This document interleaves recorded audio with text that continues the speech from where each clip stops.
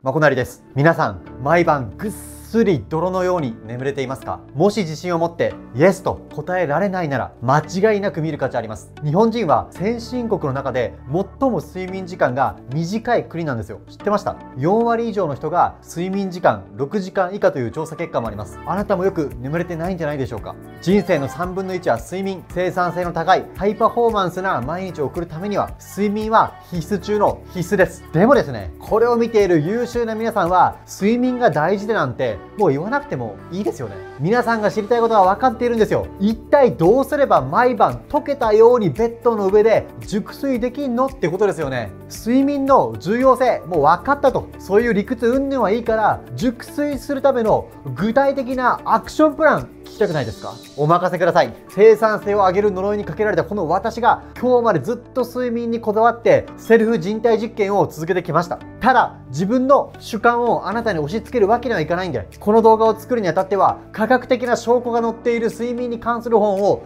4冊呼び込みました。ウェブサイトもたくさん見て調べました。睡眠の本っていうのはもうたくさん出ていて全部読むの大変ですよね。もう心配いりません。この動画だけ見ればいいんですよ。これから話すことは生産性に命を懸けて生きてきた男の睡眠へのファイナルアンサーです。良い睡眠をとりたいんだったらこれをやれという話をします。小難しい理屈は退屈なんで少なめにしておきます。そんなに小難しくきちんと理屈から理解したいんだったら自分で本読んでください。私はねもちろん睡眠学者でも医者でもありません。かなり勉強したんで大きく間違ってることは言ってない自信がありますけれども人によっては体調が合わない可能性もあります。健康に関することなんでぜひね全部鵜呑みするんじゃなくて自分の頭で考えて自分に合わせてチューニングしてくださいね。では早速いきましょう。究極の睡眠法その1睡眠90分前に39度から40度のお風呂に15分入ること。快適な睡眠を手に入れたいんだったら必ず毎日湯船に使ってください。私が読んだ本4冊中3冊に入浴が深い睡眠に効果的だとありました。私も日々入浴をしてその効果をもう実感してます。暑い夏でも必ず入るようにしています。なぜ入浴が大事なのか。まず最初にさらっと理屈を言います。人間っていうのは皮膚表面の温度皮膚温度と体のもっと奥深くの深部体温が近づくにつれてすやーっと眠ることができるんですよ。これは1999年に頭のいい人たちが読む雑誌「ネイチャー」で発表されています。皮膚の温度と深部体温を近づけるために最も有効なのが睡眠90分前に39度から40分のお風呂に15分入ることなんです。まず体の表面温度と深部の体温について理解していきましょう。こちらのグラフをご覧ください。体の表面の温度と深部の体温を比較すると深部の方がもちろん高いです。外よりも中の方が暑いというのはイメージできますよね。日々の日中のね活動中はこの深部の体温が上がって皮膚の表面の温度は下がります。中にこうエネルギーがねこもってるようなイメージですね。睡眠時は逆なんですよ。皮膚の表面の温度が上がって中の深部体温は下がるんです。熱を体の表面にどんどん出して体の中身を休ませているようなイメージです。この時に普段は相対的に高い深部体温が下がってきます。そして皮膚表面の温度が上がってくることで体の中と外の温度がぐっと近づくんです。この時にね人間は眠くなるんですよ。何にもしなくてもこの現象っていうのは起きるわけですけど睡眠90分前に15分の入浴をすることでこの深部体体温と皮膚温度がさらにぐっとね近づくんです。こちらのグラフ見てください。入浴した時としていない時の体温変化の違いを示してます。入浴しない場合の体温の動きはこんな感じです。先ほどの説明と同じですね。では入浴すると一体どうなるのか。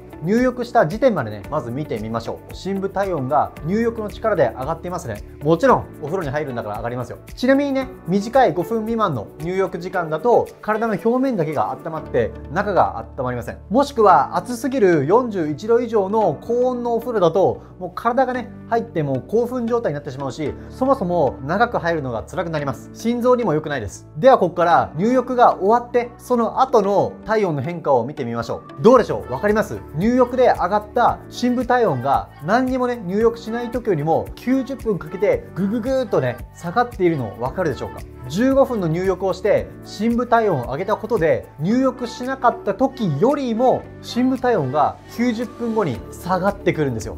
皮膚表面の温度とぐっと近づきます。これによってね熟睡を得られるんです。この深部体温っていうのは一気にはね下がらないんで90分ほどかかります。なんで寝る直前とかに入浴しちゃうとまだね中と表面の温度が離れてるんで良い睡眠が得られないんです。なんで90分前に入浴っていうのがもうめっちゃくちゃ大事なんです。私の場合は21時半に入浴して23時にはベッドに入るようにしています。今言った15分の入浴をするだけでもものすごくね価値あるんですけどさらに劇的に効果を高めたいって人は炭酸風呂にするとさらに効果的になります。より体の中が温まってその後の中の体温をぐっとね下げる効果がより上がるんですよ。でですね家で炭酸風呂をやりたいんだったらもうめっちゃくちゃおすすめの商品があります。バース重炭酸入浴剤です。これ普通の入浴剤と違って香りとかね全くありません。初めて使うとえこれでいいのってなるんですよ。でもですね実際にお風呂に入ってね時間経つともうじわーって通常とはもう全く違う体の温まり方を実感できるはずです。明らかに他の入浴剤と違います。自分は人に勧められてこの入浴剤を初めて使った日の夜もうねめちゃくちゃよく眠れたのを今でも覚えてます。この感覚は人それぞれ違うとは思いますけどぜひ一度は使ってみてほしいです。難点は価格ですね。まとめ買いで1回200円。少ない量を買うと1回300円します。なかなかの贅沢ですけど私はね十分に投資する価値があると思ってます。睡眠はもうめっちゃ大事なんでよーく眠れて頭が冴えてないと経営と YouTube と月額サービスこの3つを回すなんてできませんそのために私は睡眠に投資をしています。概要欄にバースのリンク貼っておきますんで週に1回特別疲れた時だけでもいいんでぜひね使ってみてください言うまでもないんですけど企業案件じゃないですからね私が自分で使ってよかったから自分の意思でお勧めしてます。もう動画終わりますか？ぶっちゃけね私は今回の動画であなたに睡眠90分前に39度から40度にお風呂に15分入るっていう習慣を取り入れてくれたんであればもうそれでねもう十分すぎると思ってるんですよ。もういろいろやらなくていいんです。これだけで人生変わります。お願いだからお風呂に入ってください。なんだかあなたがお風呂に入らない人みたいな言い方はしてしまいましたけどこの今言った適切な15分の入浴これやっている人って本当少ないと思うんですよね。騙されたと思ってやってください。もうなんだろう。この習慣身につけてもう後悔したらもう金払います。金で解決します。ってことでねもうここで終わりそうな勢いですけどまだ9個残ってます。是非最後まで見て究極の睡眠を手に入れてくださいね。究極の睡眠法その2寝室は睡眠だけの場所にする。寝室を寝ること以外に使ってはいけません。実は私最近失敗しましてリモートワークが始まった時に寝室にね机を置いて作業をしていたんですよ。そこで作業とかミーティングをするようになってもう明らかに睡眠の質が悪化しました。寝室で作業してると仕事の時の緊張感脳のこの覚醒状態の感じがどうしてもね残ってしまうんですよ。私は起業直後2年間はオフィスで寝泊まりしていてソファーで寝てました。その頃の睡眠の質はもう最悪でしたね。日中いつも眠かったです。良い睡眠をやるためには寝室はもう寝るだけの場所なんだってこう脳みそに覚えさせるのが大切です。作業場所と寝室は分けてください。とはってもワンルームとかで寝室がないという人もたくさんいるでしょう。そういう人は家では基本作業しないで仕事は外に出てカフェだったりコワーキングでやりましょう。それが難しい人はもうせめてねベッドの上は寝る時以外には乗らないということを徹底してください。ベッドの上に座るとかもできればねやめた方がいいですね。究極の睡眠法その3夜に明るい光を浴びない。もう太陽が落ちてから白くて明るい光を浴びたら体が灰になって消えると思ってください。白くて眩しい光は眠くなる脳内物質メラトニンを抑制しちゃいます。なんでお風呂とかも暗めの照明にした方がいいです。家に明るい照明しかない人はもうかなりやばいです。そういう人は私が以前紹介してかなり売れたこの2000円以下でね買えるフロアランプとか買ってみてはいかがでしょうか。もしくは光で起きる目覚まし時計。これもねめっちゃおすすめです。私も毎日これで起きてます。この目覚まし時計照明代わりにもなるんでおすすめです。私が使ってているのと同じものは概要欄のリンクに貼っておきます。究極の睡眠法その4他人と一緒に寝ないこと。結婚されている方同棲している方もしくは節約のために友達とルームシェアで同じ部屋で寝ている人一緒に寝ている相手のせいで眠れないなと思ったことありませんか？相手の寝相いびき鼻息ベッドに入るタイミング出るタイミングで目が覚めてしまう。確実にあなたの良質な睡眠を奪って健康を害しています。これはねもちろん個人差がありますよ。昔から大人数で雑魚寝するような家族だった人は他人が隣でいびきかいて寝ていても全然気にならないみたいな人もいるんですよ。こういう人は他人の目覚まし時計が隣で鳴っていても全く起きなかったりします。私の場合はずっと一人の部屋で寝ていたってこともあってもう近くで物音とかするともうすぐ起きちゃうんで誰かと一緒に寝るのはもう無理です。個人差はあるんですけど私の感覚値だと周りがどんな環境でも寝られる人っていうのはもう10人に1人くらいですね。もうそれ以外の人はもう向いてないです。悪いことは言わないんで自分だけの寝室を確保してください。今恋人がいて同棲したいなとか思っちゃってる人悪いこと言わんからやめとけ。生産性の高い毎日を送りたいんだったら悪いことは言わないから本当に誰かと一緒に寝るのはやめた方がいいです。毎日恋人が隣にいてラブラブ幸せとか幻想ですよ。結婚している方はねそんなことよく分かってると思いますけどそんな幻は長くても1ヶ月で終わります。相手と気象のリズムが同じで相手の動きとかいびきが全然気にならないって人は毎日熟睡できるってケースもありそうですけどやっぱ寝る時間と起きる時間は違う場合が多いのではないでしょうか。今この動画を見ていて同居人と寝ることにストレスを感じている人今すぐ寝室を分けましょう。できないんだったら別居しましょう。勢い余って別れましょう。毎日の睡眠の質が下がると日中のパフォーマンスが下がって人生積みますよ。もう私は生涯ね一人で熟睡すると決めています。誰にも邪魔させません。これ完全に余談なんですけど私の会社の仲のいい社員で S さんって人がいてその S さんがもういびきがすっごいんですよ。あもちろん男性の社員ですよ。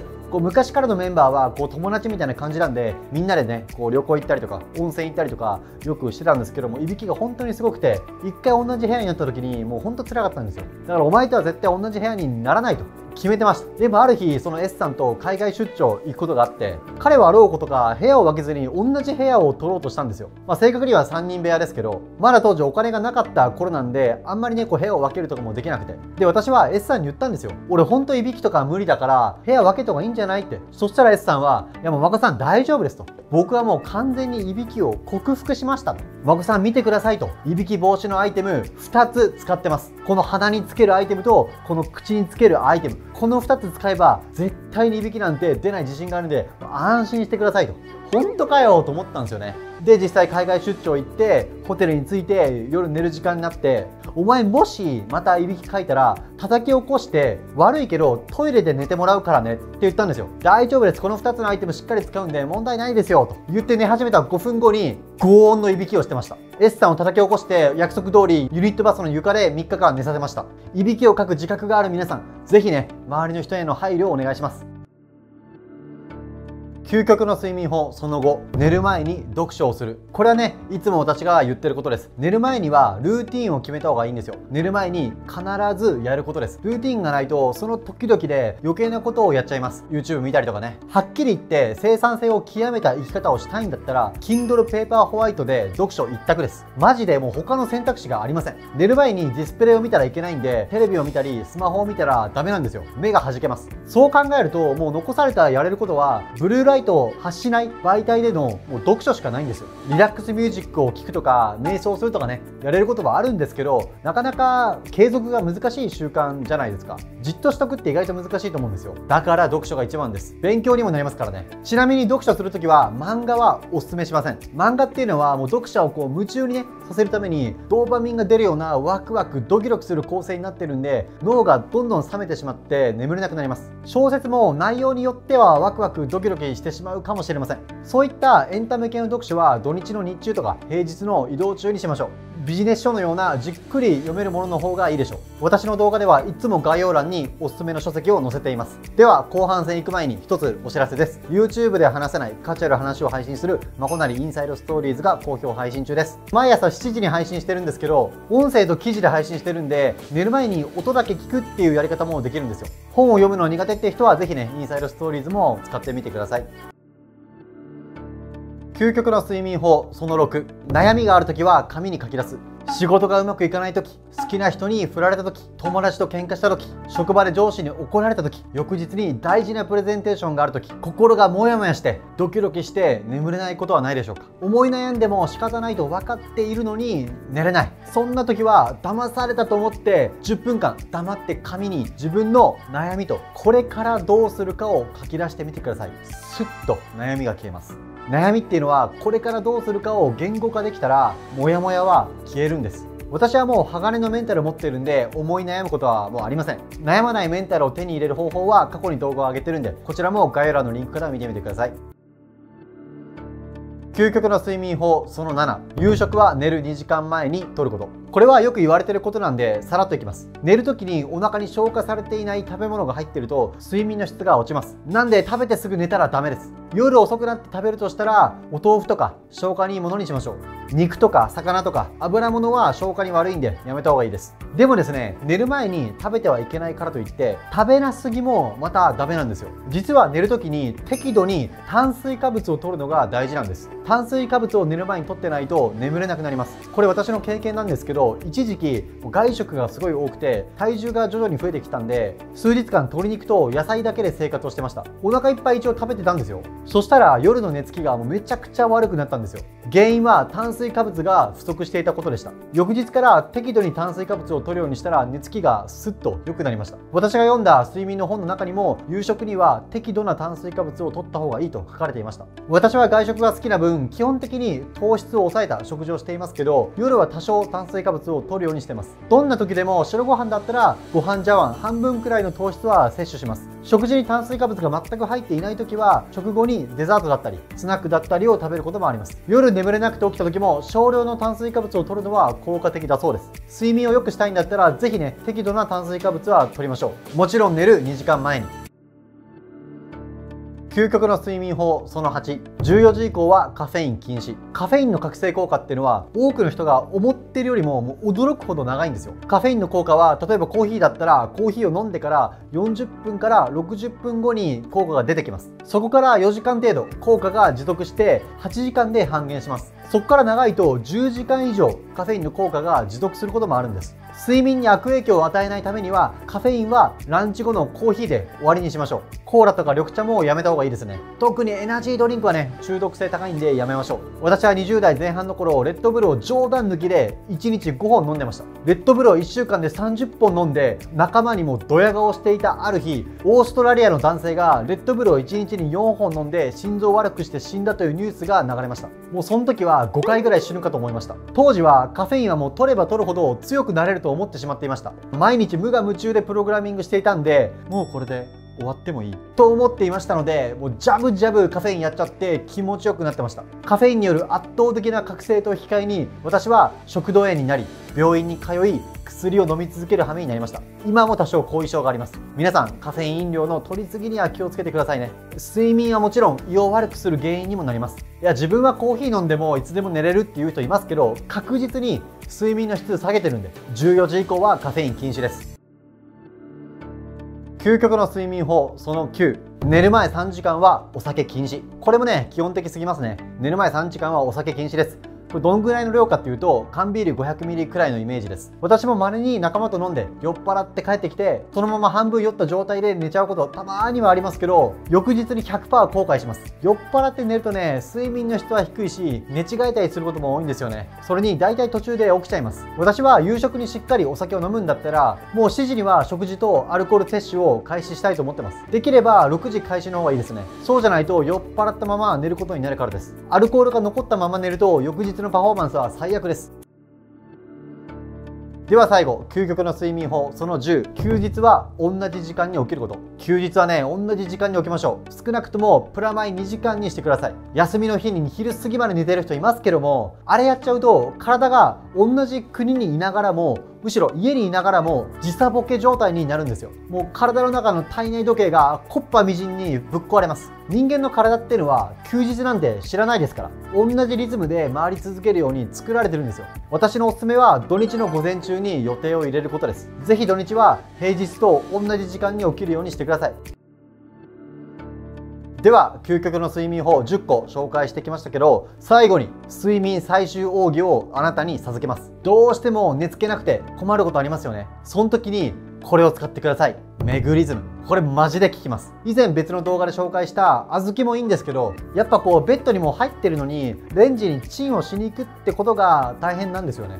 仕事の合間とかのリフレッシュにはいいんですけど寝つけない時には使いにくい。でもこのメグリズムは黒を開けるだけで温まり始めてすぐ使えます。私もねあるんですよ。どうしても夜にスマホを見なきゃいけない時仕事の緊急対応とかね。そういう時ってやっぱ脳が覚醒しちゃうんですよね。スマホで作業しちゃうと。そういう時はこのメグリズムをいつも使ってます。本当にベッドの横にメグリズム箱で買って置いてます。これ使って目をじわーっと温めると本当に眠れるんですよ。多分目元があったかいってことで意識が全部目の周りに行くんでしょうね。最初はうわあったかいなちょっと暑いなとか思うんですけどそう考えているうちに落ちてます。毎日毎日使う必要はないんですけど今日はなんか寝つけないなと思う時はそういう時はこの最終奥義メグリズムを使ってください。100%寝れます。ということで今回の動画いかがだったでしょうか？自分は睡眠短くても大丈夫だっていう人ほとんどのケースで幻想です。専門機関の調査によるとショートスリーパーは2000人に1人しか実際はいないそうです。超レアケースです。多くの人がただの寝不足で頑張ってるだけなのに自分はショートスリーパーだと思い込んでるそうです。これを見ているほとんどの人が睡眠足りません。もしくは睡眠の質が低いです。今日言った10個全部実践してくださいね。ではいくつかお知らせの後に最後に10個復習していきましょう。私は日本最大級のプログラミングスクールキャンプを運営しています。未経験からプロのエンジニアに確実になりたい方もしくは教養としてテクノロジーに強くなりたいという方ぜひ無料カウンセリングに参加してください。オンラインでもやりきることができます。あとはもし前のねこのチャンネルの登録をしていない方これからも仕事や人生に役立つ話を配信していきます。ぜひチャンネル登録よろしくお願いします。では最後に復習しましょう。今回は毎晩泥のように眠れる究極の睡眠法10選を紹介してきました。1つ目は睡眠90分前に39度から40度のお風呂に15分入ること。これだけは皆さんやってくださいね。入浴剤のバースも使ってみてください。2つ目は寝室を寝ること以外に使わないこと。3つ目は夜に明るい光を浴びないこと。4つ目は他人と一緒に寝ないこと。5つ目は寝る前に読書すること。Kindle Paper White で読書しましょう。6つ目は悩みがある時に紙に書き出すこと。7つ目は夕食は寝る2時間前に取ること。適度に炭水化物を取りましょう。8つ目は14時以降にカフェインは取らないこと。9個目は寝る3時間前からお酒を飲まないこと。10個目は休日は平日と同じ時間に起きること。最後に寝つけない時にメグリズムがいいですよって話ををしました。私が使っているメグリズムは概要欄に貼っておきます。個人的には香りがないタイプの方が好きです。ということで今回の動画いかがだったでしょうか？もし面白かった役に立ったと思ってくださった方は高評価コメントをしていただけると嬉しいです。もしくは Twitter にまこなりと入れてシェアしてくれるとたまにエゴさせてるんで見ることができます。これからも皆さんに役に立つ動画を一生懸命作っていきますのでよろしくお願いします。では次の動画でお会いしましょう。